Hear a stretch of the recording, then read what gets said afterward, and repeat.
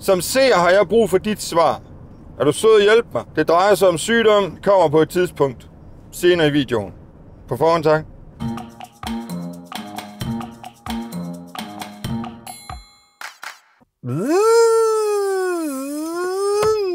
Godmorgen, godmorgen. Mit navn er Brian, og du er landet på den danske brumbasse min kanal. Velkommen til. Jeg starter nu med at sige rigtig god weekend. Rigtig god ferie til dem, der har det, og rigtig god weekend til dem i den anden ende også. Øh, den anden næste weekend, for den får jeg heller ikke snakke mere om, så... Eller noget. Så to gange god weekend og en gang god øh, ferie. Og så er det ligesom styr på det skidt. Så har jeg husket det. For en gang skyld har jeg husket det. Hold kæft, mand. Så spørgsmålet bare, om jeg kan huske det igen senere, eller om jeg optaget af et eller andet, der ligesom har taget al min opfa- op, opfattelse op, alt min op, op noget, og så bare har øh, pff, lukke en mask ned, eller hvad fanden man nu siger. Altså ligesom øh, klap ni, gdig, kan ikke huske ved ikke noget. Øh, kan ikke huske noget, fordi der var noget andet, jeg var dybt optaget af. Så burde jeg måske sige det her også. Jeg streamer højst sandsynligt et par dage i ferien. Ikke fra morgen øh, til aften, men, men mere fra øh, aften til aften. Når man øh, skal til at have noget at spise eller sådan noget deromkring, tænker jeg. Jeg ved det ikke. Jeg har ikke, øh, jeg har ikke, øh, jeg har ikke planlagt noget nu, men, men det bliver nok noget, den dur. Og det bliver et par dage i ugen. Men jeg, jeg regner med at streame, som jeg plejer at gøre, fast om søndagen. Og det kan godt være, at jeg starter tidligt. Det ved jeg sgu ikke. Det finder vi ud af. Det finder vi. Vi tager det stille og roligt. Stille og roligt. Jeg vil bare sige godmorgen, jeg vil bare sige hej og velkommen til. Vi skal ud på... Jeg har ikke hørt noget, vi ikke skulle i hvert fald, så jeg går stærkt ud fra, at vi skal ud på vores torsdagstur, som øh, er øh, meget, meget lang efterhånden. Til den første i hvert fald. Det er ikke ens betydning med, det er dårligt, men, men, men den, den føles lang efterhånden, det gør det altså. Men, men det går nok, det går nok, det går nok. Og så er der højst sandsynligt noget kørsel før de skal hjem igen. Så det, det, det, ja. Og vi får, vi får tanket. Og et eller andet sted, så tror jeg faktisk, det er en god idé bare at tanke i dag, fordi så får vi ikke tanket i morgen, som er fredag, men så får vi heller ikke tanket mandag. Og som regel, så plejer øh, bossman at sige, at øh, bussen må ikke stå med for meget brændstof øh, i ferien, fordi at... Øh, og jeg kan egentlig godt forstå ham. Jeg, jeg kan godt forstå ham. 35 køretøjer på fuld tank, der bare står og laver ingenting. Hvis de penge nu ikke var, hvis de, hvis de tanke nu ikke var fulde, men sådan under halv og, og, og længere ned, ikke også? Så står der en masse penge ind på en konto, i stedet for at være over ved, øh, ved dem, der skal have brændstof. Og bare den uge, altså den kan jo se pæn ud for, for øh, jeg forstår det godt. Jeg forstår det godt. Og om du forstår det, det ved jeg ikke. Men det, det skal du også selv lovbestemme, om du forstår det eller ikke forstår det. Det er jo dit helt aldeles egen afgørelse, ikke også? At du forstår det eller ikke forstår det. Godmorgen, godmorgen og velkommen til. Og, dammit, lad os bare tage den. Lad os bare tage den. Er det her, er det her mit... Altså, hvorfor er jeg havnet her? Hvorfor, øh, hvorfor sidder jeg her? Fordi jeg havde en, der på et tidspunkt skrev en, en, en kommentar på min, øh, på min, øh, på min en, en video langt tilbage, jeg kan ikke huske hvornår, hvor han sagde, at øh, det eneste job, man kan få, når man er så øh, uintelligent, det var i hvert fald sådan, jeg læste det. Og det er ikke ordret. Men det er også fuldstændig meget. Han mente i hvert fald ikke, at jeg var intelligent. Han, hun, den, det følte ikke, at jeg var intelligent nok til at have et bedre arbejde end det her. Nu er det sådan, at jeg kan godt lide at køre. Jeg elsker at køre. Der er ikke noget mere befriende for mig, end at bare sætte sig ud bag rattet og køre. Og så bliver man jo lidt ked, frustreret, irriteret over, at en eller anden klaphat kommer med sådan en kommentar, at øh, det er det eneste, du kunne få. Faktisk, så tror jeg, jeg har fundet min hylde. Faktisk, så tror jeg, jeg er landet det rigtige sted. Jeg tror godt, at jeg kunne blive her, til jeg bliver pensioneret. Spørgsmålet er, om min krop vil tillade det. For jeg er begyndt at døje med et knæ. Det er koblingsknæ. For dengang, der havde en bus med kobling. Det havde jeg fem år. Men nu begynder mit knæ at sige af. Det begynder i hvert fald at fortælle mig, at, at, at vi har det ikke så godt, som vi har haft det i hvert fald. Og dermed sagt, så, så, øh, så tror jeg bare, at, at, at jeg bliver, så længe jeg kan. Altså må jeg finde en anden løsning. Det kan også være, at det, det her fjederne sæde her, det er måske heller ikke super godt for, for mit knæ, at det konstant er i bevægelse. At jeg måske burde hæve det lidt. Og så, øh, og så dermed have en fast position på sædet, kunne måske gøre meget for mit knæ. Nu har jeg trods alt fået en automatgear. Som jeg siger, øhm, personen har overhovedet ikke ret. Jeg, kunne, jeg har været mange ting. Jeg har været rigtig mange ting. Jeg har prøvet mange ting. Ikke i den sidste stream, men forrige stream, der var der en, der kom ind og spurgte, og jeg tror, hun købte, det var Alexander Storm igen. og hende spørger, han er så sød. Han er så sød at deltage i ting og sager. Og stille spørgsmål. Han spurgte om, øh, hvad jeg har lavet af jobs igennem tiden. Og så begyndte jeg at ramse op fra en ende for jeg har lavet meget. Og det er ikke, fordi jeg ikke kunne beholde et job. Det, der var bare andre muligheder. Der var bare andre ting, der valgte øh, at melde sig, og så videre, og så videre. Det resulterer i, at, at jeg har en, en, en, en lang række, og den række, den ramse kan du finde over på min stream, fordi den strækker sig over på timer, og i løbet af de timer der, så kommer jeg i tanke om, gud, jeg har da også været det der, mand.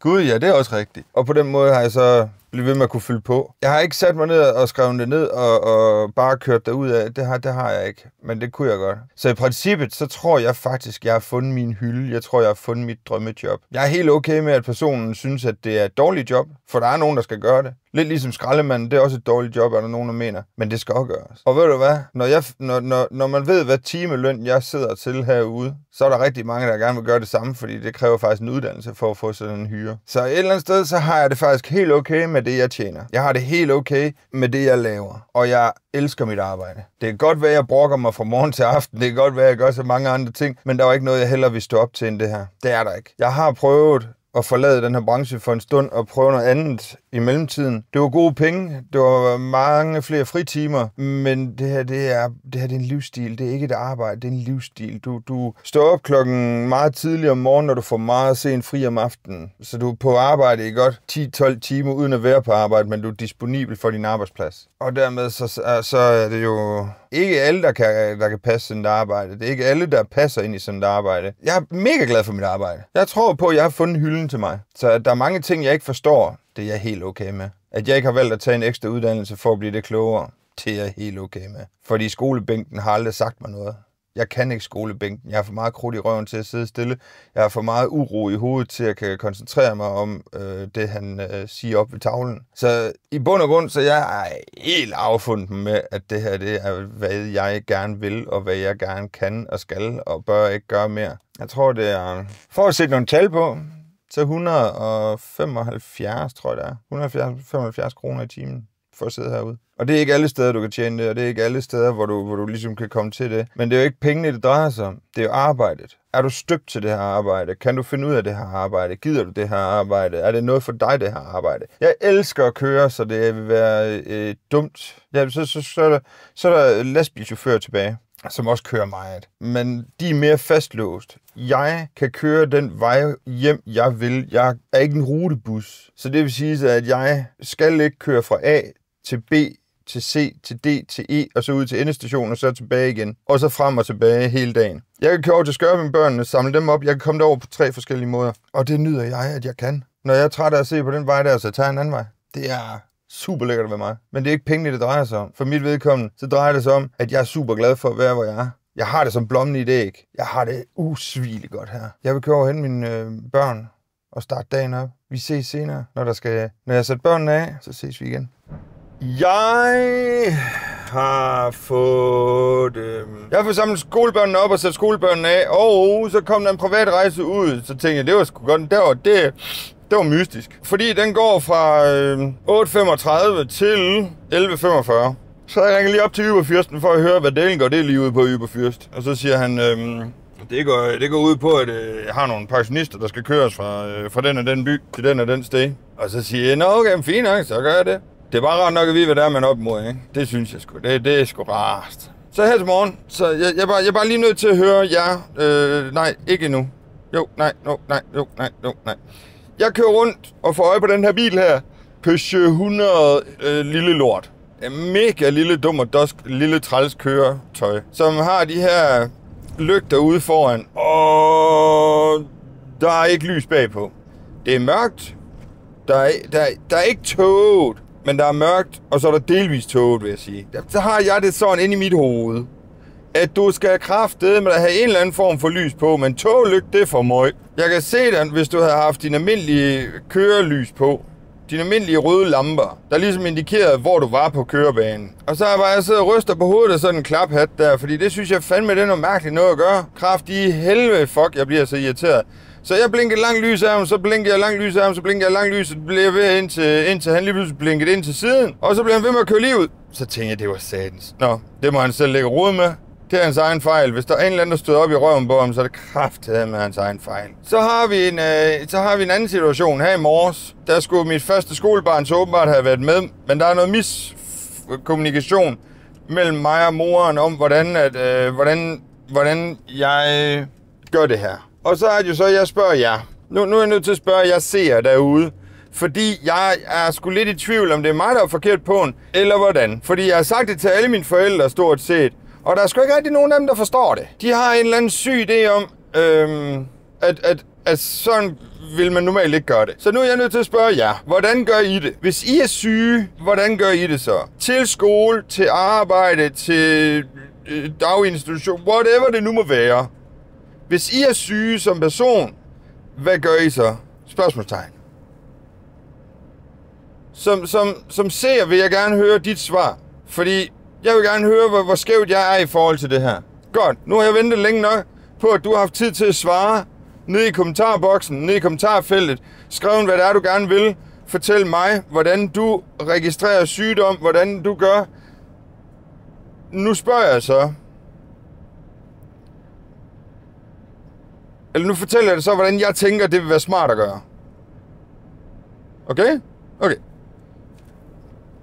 Når du har et barn, der er syg. Jeg vil gøre det samme ind til min arbejdsplads. Jeg vil ikke gøre det anderledes. Jeg vil ikke ligge og sms hver eneste dag. Jeg er stadigvæk syg. Jeg er syg. Mit barn er syg. Jeg er syg. Den er syg. Der er noget, der er syg. Syg, syg, syg.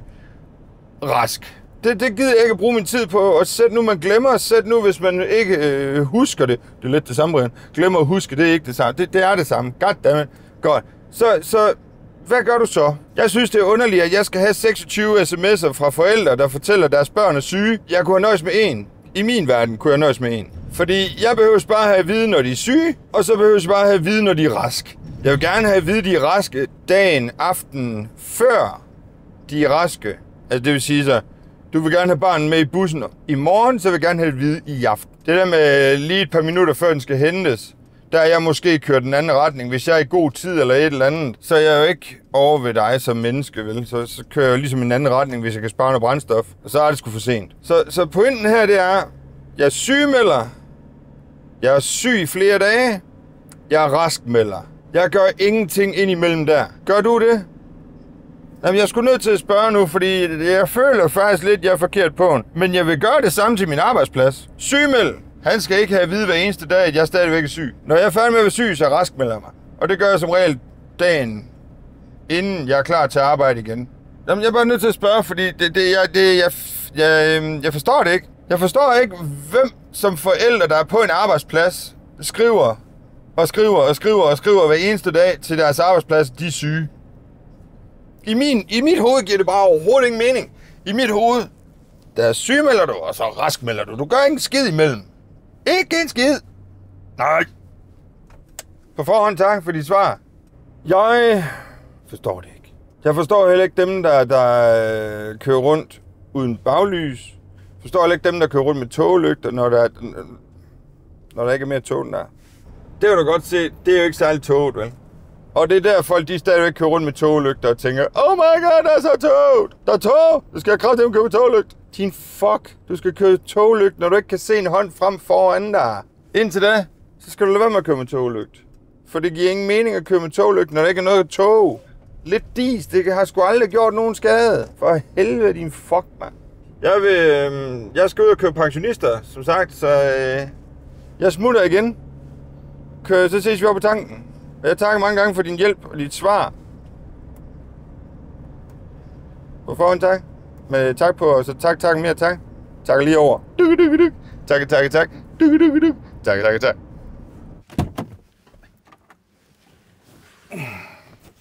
Af en eller anden syg årsag, så satte jeg mig ind i køretøjet og var på vej til at køre. Du skal satan i bare gå væk, mand. Din lille fucker muk, mand. Fucker mukke, det fucker mukke, fucker mukke. Så der er ingen muk der, mand, jeg siger. Hey, vi er nede på 14 igen. Det går skide godt, mand. Og vi er under 200 kroner. Yeah, vi er under 200 kroner, yeah. 14, 61. Ja. Woo. 14, 61, dog. Det er sgu ikke så dårligt. Men jeg må nok hellere komme afsted, fordi jeg aner ikke, hvem de forskellige pensionister er herovre, som jeg skal over hente nu her. Og jeg må først tage den over kvart år, sagde han. Og det var over i en lokal by lige herovre i stedet. Nej, fandme nej. You bastard, yeah. Det er muk. Mere. Kan også tro, at de ikke lavet andet end at være muk herovre. Mukke, mukke, mukke, mukke, mukke, mukke. Mukke, mukke, mukke, mukke, mukke, mukke, mukke. Mukke, mukke, mukke. Så gå der væk, mand, din fuck. Hvor mange er der lige herinde, mand? Jeg har kørt pensionister til Suldrup på et andet vognløb. Og så er den ski selv med slagen. Skrev en til på fyrsten, jeg var færdig. Jeg prøvede også at ringe til ham, men der svarede han ikke. Så nu øh, kører jeg hjem. Og så er det sådan set det. Det næste går jeg ud fra, det bliver min lange tur til Skibsted, og hvad der så inde er over i Skibsted til mig derover og så tilbage igen med dem, og så er det skolebørn derefter. Så det er sådan en kortlagt, et lang fredag. Ja, det er noget værd noget. Det er noget værd noget, det kan jeg godt se. Det er noget værd noget, er værd noget. Vi ses senere, når øh, den turen skal køres.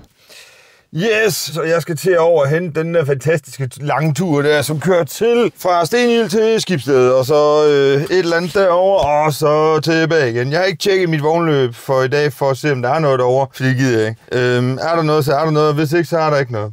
Sådan det. Vi er dem, der kører ud og hente dem, ud og samle dem op, og det er dejligt. Vi ses senere, når de er sat af... Nej, ja, når de er sat af for første gang. Ikke anden gang, første gang. Ja, yeah. Jeg er på farten igen. Jeg har lige sat dem af i øh, skibsdatoen. Det er så fint, det er så godt, det er så fint, det er så godt. Det er så fint, det er så godt, det er så fint, det er så godt. Og jeg skal nu over til Arten for at hente en person derovre. Det er i hvert fald det, min GPS muligvis fortæller mig. Jeg synes i hvert fald, jeg læste adressen til at være derovre. Kan jeg godt være, at jeg bare skal til Skørping. Det er ikke til at vi fluer de måske. Jeg vil bare sige en ting, ikke også? Der er egentlig ikke ret mange mennesker, der finder deres rigtige hylde her i livet, når det kommer til arbejdslivet. Og et eller andet sted, så er det en af de steder, for uden hjemmet, vi bruger allerflest timer. Så hvorfor helvede skal vi ikke finde det, den hylde, der passer os, det arbejde, der gør os glade, det er et sted, hvor vi bedst kan lide at være. Jeg er da utrolig glad for, at jeg har fået nået, nået at få prøvet alle de jobs af, så jeg ligesom har noget at sammenligne med. Hvad havde jeg egentlig lyst til at lave? Hvad kunne jeg egentlig tænke mig at lave? Og, og er det noget, jeg gider at gøre i, eller hvordan og hvorledes? Altså, lad os bare tage sådan en, en, en, en hurtig ramse, ikke? Kasseekspedient, frugt og grønt, cykelsmed, hold ved montør i et tømmerfirma, der rejste til Norge, brolægger, avisbud, buddreng, kasselinjen i Føtex, og så er jeg ved at løbe tør, men der er flere jobs, tro mig. Altså, min, mit, mit CV, det er øh, A4-side øh, med forskellige jobstyper. Nogle af dem lugter eller minder, eller øh, kunne måske godt minde om de samme, men, men gør det ikke. Og det er også helt okay. Jeg har bare fundet ud af, at dengang, da jeg kørte bus... Nej, sikkert ævl. Da jeg kørte øh, aviser rundt om Brønderslev, der kørte, jeg, øh, der kørte jeg mange timer om dagen og fandt ud af, jeg var faktisk helt vild med at køre, men det vidste jeg allerede fra før jeg kom derop. Jeg har videoklips inden alt det her GoPro og alt det her YouTube og alt det her, det blev, det blev overhovedet en ting. Så tog jeg et elastikbånd, sat rundt om min solskærm, vippede solskærmen ned, og så satte jeg et, et kamera fast, og så trykkede jeg bare optag. Så trykkede jeg bare optag, og så kørte jeg en tur ned igennem Aarhus og kørte rundt, som jeg havde lyst til. Øhm, hvor god kvaliteten den var, og det der med, med rystelser og alt sådan noget der, det var ikke, det var ikke, øh, det var altså ikke opfundet dengang, at man kunne øh, have sådan en gimbal som den der, eller elektronisk stabilisator ind i, øh, som i GoPro, der, hvor du kan stå sådan her med den, og så virker det faktisk som om, at kameraet det bare stille og roligt bevæger sig op og ned. Altså, den slags var der ikke. Men jeg lavede sådan noget, inden det overhovedet blev en ting. Så det synes jeg, det er lidt sjovt at, at, at, at kigge tilbage på. Og så vide, at jeg kan lide at køre. Jeg har, jeg har kørt meget, rigtig meget. Så jeg vidste et eller andet sted godt, at det her, det var det, jeg skulle. Udmærket godt, det var det, jeg skulle. Jeg kører over og henter kunden over i, jeg tror det er Arten. Så der kører jeg lige over og får den hentet, og så, øh, så ses vi senere. Så har jeg kørt den kunde over fra Arden og hjem til sig selv. Ja. Kender I det med at køre rundkørsler? Er tit og ofte, hvor vi mennesker vi er ikke enige om, hvordan man skal køre i tingene. Hvis to mennesker stikker snuden ud på samme tid i rundkørslen, så er der ikke nogen af os, der har første ret. Så er vi ude samtidig. At mit køretøj så er længere, som passer med, at han kommer op på siden af mig. Det er jo ikke ens betydning med, at jeg skal holde tilbage, eller han har første ret kommer jo ud samtidig, ikke? Og så ender han med at dytte mig, fordi han synes... Øh, jeg ved ikke, om han antager, at jeg vil hele vejen rundt og ikke har set ham, eller hvad fanden det er, der foregår inde i hans hoved. Fordi vi kom ind samtidig. Jeg kan godt se, det giver jo egentlig første ret, hvis det er, at du kommer først ind. Men hvis jeg kommer ind samtidig med dig, så er du ikke, så er du ikke alene derinde jo. Så har du ikke rundkørslen for dig selv. Nå, det kan godt være, øh, det kan godt være, at jeg igen er forkert på den. Der er jo så mange gange. Men jeg, jeg skal, jeg skal sat nemt låt for dig, at spille træf her. Det var Christian Rytter, der lige mødte en, øh, en, en lasterbil. Der er åbenbart kommet en grusgrav herover. Den er så åbenbart flyttet herud fra skoven eller hvad? Eller giver den her bare bedre øh, tilbud, eller hvad, hvad fanden? Eller øh, råbiber. Jeg kører over og henter dem derovre. Og så ses vi lige derefter, fordi skal højst synligt over hen min skolebørn. Fordi det er klokken 14.30, når jeg sætter dem af. Og der skal jeg gerne afsted og stige afsted. Og så i morgen, så skal jeg huske min første dreng. I morgen. I morgen husker jeg ham lige, så jeg ikke glemmer ham. Ja, det lyder meget rigtigt. jeg husker ham, så jeg ikke glemmer. Jamen, det, er, det er øh, ikke, øh, det er ikke helt ved siden af det der Bljanovic. Kanon. Vi ses senere. Jeg er færdig. Solen skinner slet ikke, men det gør den lige en gang imellem. Så vælter den ud fra bag de skyer, der nu eventuelt er en der himmel. Og så ser man bare der, øh, jeg kan ikke se et skide, man. Og så er det bare på med solbrillerne, så buff, sådan væk igen. Jamen, jeg siger dig, det er frustrerende med den sådan der. Der går bedre. Den anden gang, jeg møder ham i dag. Jeg er på vej over efter mine artenbørn, skolebørn. Nej, sgu da ikke mine artenbørn, det er ikke mine. Kraft, de helvede fuck. De kan hoppe og rende skide, de små unger derovre. Jeg har fået kørt skibstedturen. Jeg har fået kørt det, der lå imellem skibstedturen. Jeg har fået trykket ny tur. Jeg har fået mine skolebørn ud over for Skørping. Jeg er på vej over for at hente mine børn over for Skørping. Ej, nu blev det lige lidt øh, automatiseret øh, snaksprog, ikke også? Men det var simpelthen fordi, jeg har haft så meget døj med at, øh, simpelthen sige det, jeg gerne vil sige. For det var åbenbart det, lade sig gøre. Hvad fanden er for det? Jeg ved det var heller... Øh, øh, øh, øh. Så jeg er på vej over til Skørpingen for at hente min børn. Er det? Og vi har pigen med igen i dag. Det er jo torsdag. It is torsdag, and we have the pee med. And we have the pea med. And the p Yeah. Men jeg synes, det er væsentligt for dig at huske én ting her i livet. Det er, hvis du er utilfreds med den arbejdsplads, du har, i stedet for at gå og brokke dig, lave knas i systemet, brok dig over stedet, brok dig over dem, du er ansat under, brok dig i det hele taget. Lidt ligesom jeg gør. Jeg brokker mig, fordi at jeg er træt af alle dem, jeg, der kører ud på vejen.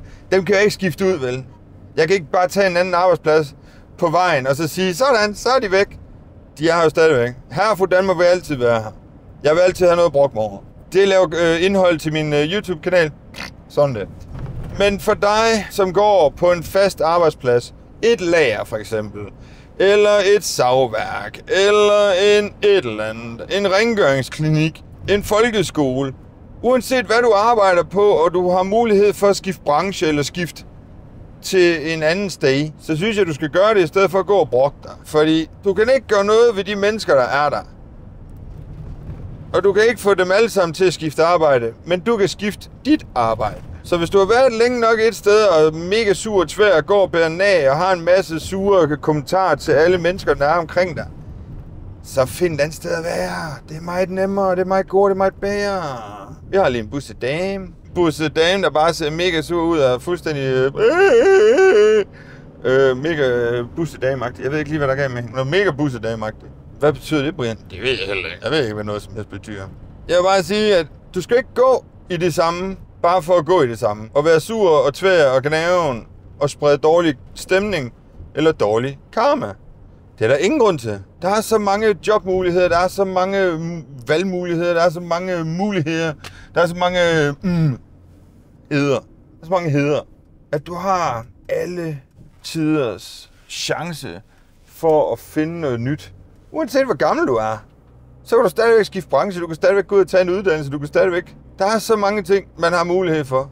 Og det synes jeg da aldeles, du skal benytte dig af, i stedet for at gå og sprede dårlig stemning og dårlig, øh, skabe dårlig karma i en virksomhed. Der er ingen grund til, vel? Så lad være med det. Lad være med at være sladerhanken, lad være med at være den der øh, rygtesprederen, eller øh, dårlig karma-klovnen, eller hvad fanden der nu ellers er, ikke? Find et andet sted at være. Til du finder det sted, der bare gør dig lykkelig. Jeg har arbejdet med en, som troede, at den skulle være i den her branche.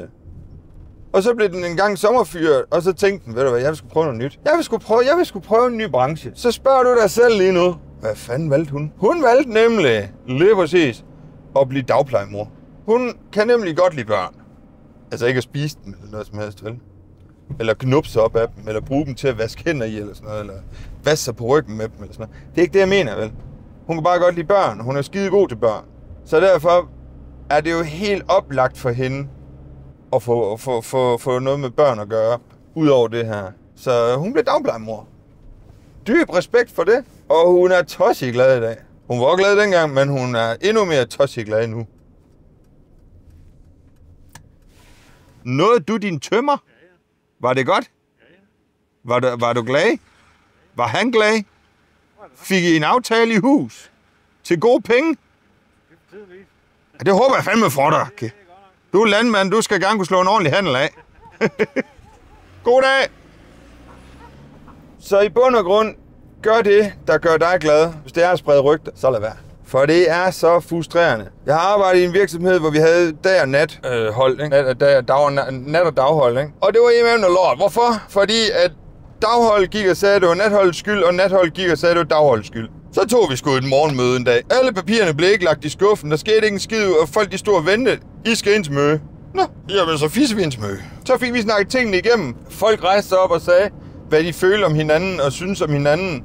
Og der blev fortalt, jamen så nej, jeg slet ikke. Det har jeg slet ikke noget med at gøre. Vi fik virkelig taget, taget øh, tyren ved hornene, fik snakket tingene igennem. Og så blev det kraftet med et godt sted at arbejde lige pludselig. Det var sindssygt til forskel. At der skal så lidt til som en Teams samtale, hvor folk lige får snakket ud om det.